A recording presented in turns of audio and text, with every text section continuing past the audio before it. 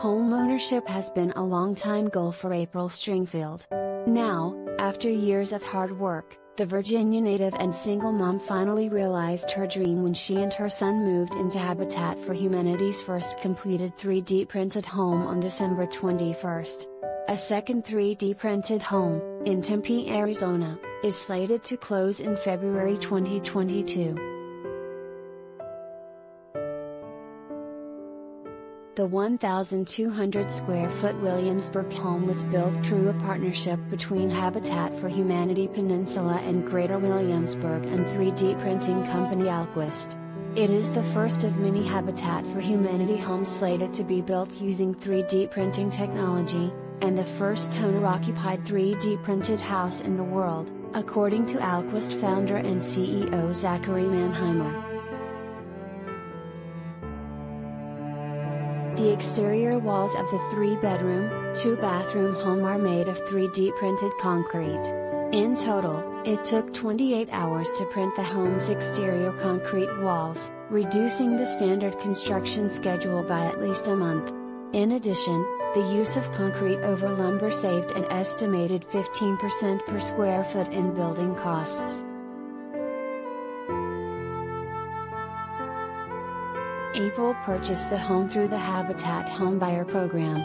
Through the program, she will pay a zero interest 20 to 30 year mortgage via monthly payments that do not exceed 30% of her monthly income. Though she's worked full time as a laundry facility supervisor at a local hotel for the past five years, April's income is still less than 80% of the area median income. To qualify to purchase the home, she had to demonstrate her ability to pay for the home and log more than 300 volunteer hours at her home's construction site, as well as at the Habitat Restore in Williamsburg.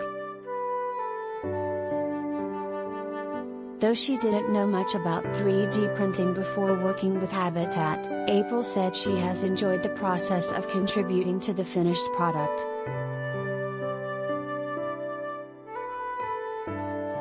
They don't just give it to you, she said of Habitat in an interview with the organization.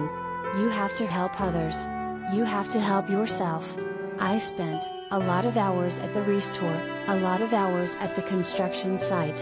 Through that, you get to learn how everything is done, how your house is built. It's a great experience, you just have to put in the work. After an emotional ribbon cutting where Habitat for Humanity representatives, elected and public officials, volunteers and supporters all stood by to see April receive the keys to her new home, the Stringfields are now busy turning their 3D printed house into a home. One of the first orders of business, lemons in the kitchen. You squeeze a lemon, you can always make lemonade, April said. My home is my lemonade.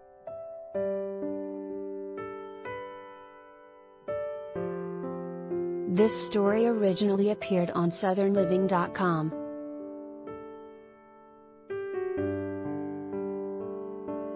By Tara Massouleh McCay.